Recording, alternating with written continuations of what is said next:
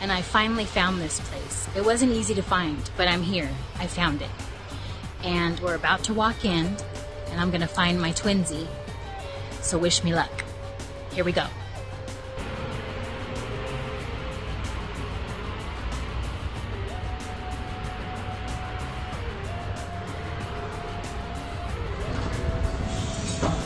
Hi.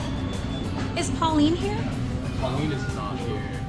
I'm on a mission. Did she give you guys instructions if some weirdo came in here on a mission? No, I don't see that here. Is it? Yeah, okay, so you know about it. Wait, let me see. I didn't. I didn't see the message.